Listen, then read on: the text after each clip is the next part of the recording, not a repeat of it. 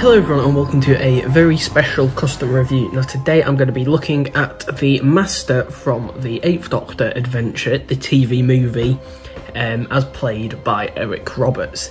Now this is a figure that I've wanted to do for a very long time and with a massive thanks to Nathan Ward, also known as Dalekidea, I was finally able to do so.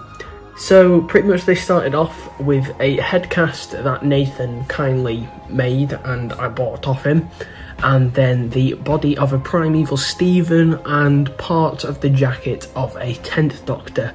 So pretty much what I did I cut away like very close to the up lapels and then put the trench coat underneath and sculpted in between the gap and blended it down that was all sprayed black and obviously with the jumper and the open shirt underneath.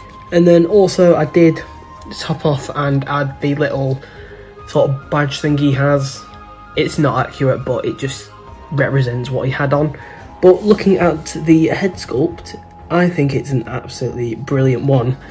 Um, obviously he used the series 1 Auton figure and then moulded his hair so it's sort of like swept back a bit and then his glasses over the top as well which look absolutely brilliant so that's really all I can say about this one I'm really happy with how this one's turned out once again a massive thank you to Nathan for the headcast because if it wasn't for you I wouldn't be able to do this. Thank you very much for watching and um, please like, comment and subscribe and I will see you next time for another Doctor Who custom review.